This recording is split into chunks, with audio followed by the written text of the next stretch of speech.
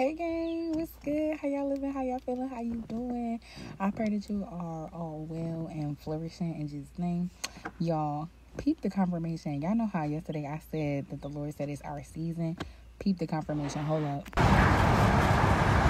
Tell me God ain't good. He literally confirmed it said a day is fun, but a season is amazing. Come on. Come on. He said what he said. I told y'all he don't be playing. Um but now I wanted to talk today a little bit, a little snippet about like fear, not even fear, but um, excuse me, warfare. If you feel like the spiritual warfare is increasing around you, um, you're doing something right. If you feel like you're personally being attacked, like it's it's it's not just you, you know what I'm saying?